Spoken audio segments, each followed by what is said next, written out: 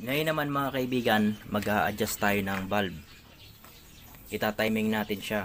Bago tayo mag-timing ng bulb, ikutin muna natin tong ilagay muna natin siya sa top dead center. Ikutin natin tong kanyang magneto. Itapat natin siya sa letter T. Yan yung letter T. Yan, kung makikita nyo letter T. Tapos ugain nyo tong itong ano niya, ito, itong tapet. Kung umuuga na siya katulad nito, umuuga na.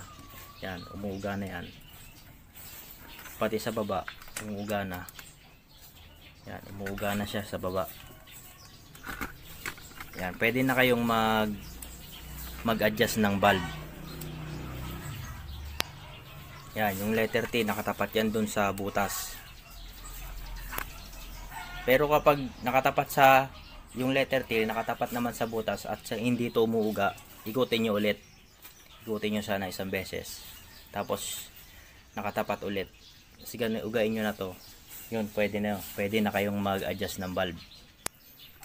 Ang sukat pala netong bulb na to, itong sa intake niya. Yan, ito. 0.002. Yan yung sukat ng intake dito sa intake. Sa exhaust naman, mas malaki. 0.003. Yan.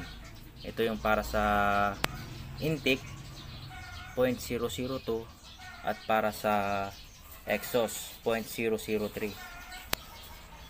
Yan, sukatin na natin siya.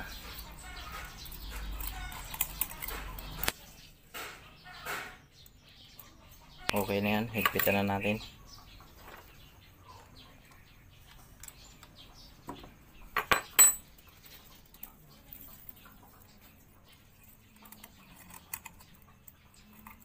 Yan, okay na yan.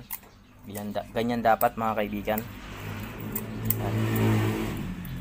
Medyo lumalaban siya. Medyo kumakagat yung pillar gauge natin. Yan, sakto yan. yan. Okay na yan. Dito naman tayo sa exhaust niya.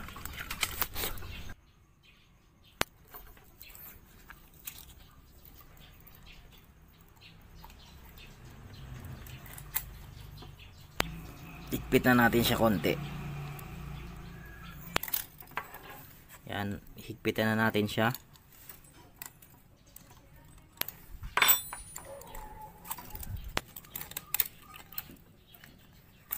Yan, ganyan dapat.